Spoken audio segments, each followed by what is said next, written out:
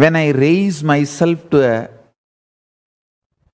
existence where my enemies can't attack me anymore, can't harm me anymore, they become irrelevant. They are no more enemies. Understand this.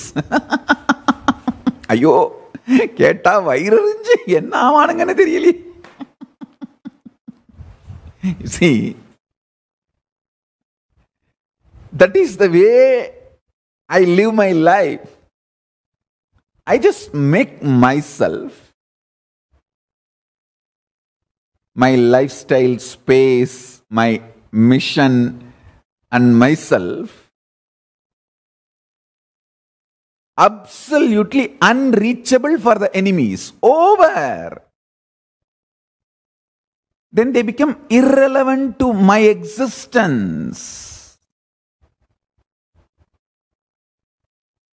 And they are no more enemies. When somebody is irrelevant to your existence, why will you even remember them as enemies? I tell you, really, the simple secret is expand your vision. That's all. Listen. I'll give you one example. Understand everything in the world, in the universe, is nitya, eternal. The all the good you do is eternal.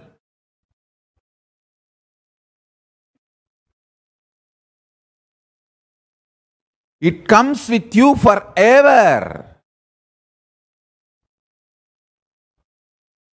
Same way, all the bad you do comes with you forever.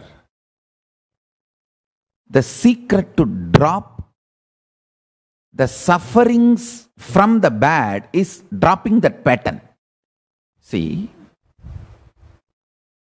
if you decide to drop that pattern, due to which you do bad things. All the bad things you did in the past, all of them lose power over you, they just die.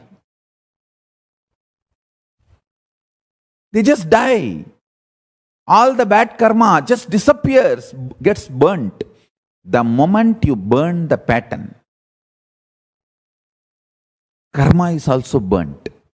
Same way, at one point in your life, you need to burn even good things. If you do dana of the good things, it gets burnt.